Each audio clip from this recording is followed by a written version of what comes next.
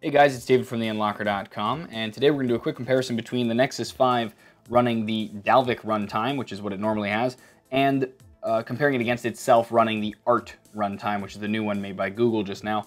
Um, if you don't know how to set this up, you can click on the link beneath this video on our site to be taken to how to set up uh, the ART runtime. Um, and in this video, we're just going to kind of compare the two devices together um, and see if there is a big difference when opening apps uh, in terms of speed. The first thing we're gonna do is a boot up test just to see if this affects the uh, speed of the device booting up. Uh, so far, it looks like they're pretty much neck and neck.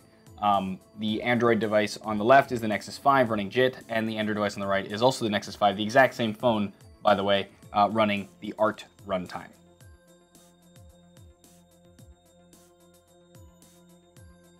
And it seems like the ART device is about three seconds faster booting up. Next up, we have the video game test. So we're gonna load the same game on both, which is Temple Run 2, um, and see which one loads faster. Again, seems about the same.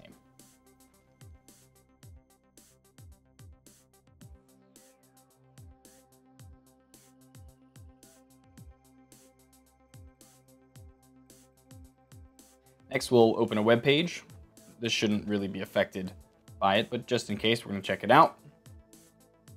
And again, seems like it's the same. Next, we'll open some apps to see how they respond. Facebook is first. Um, seems that Facebook is opened up differently on ART than it is on JIT, so the JIT one comes a little quicker. Um, then Spotify, which it seems the ART loaded just a hair faster. Um, and moving around the menu seems a little quicker on ART. YouTube, about the same and navigating menus, a little quicker on art. Instagram, loading up about the same, and even opening the camera about the same. Next up is Gmail. And it seems going through some of the inboxes is quicker on the art device. Next we'll do Google Maps. And seems pretty much the same maybe a little smoother um, on art. Twitter loads up quicker on art, even just loading in general. Um, and then there's a little bit more of a difference noticeable using the Twitter app there as well. Okay, so there you have it. Uh, these are all the apps we're going to compare. Just kind of give you a quick real world scenario. Um, I have to say though that just using the device on a daily basis, it does seem a little snappier when it's on art, um, even though some of those didn't seem that way.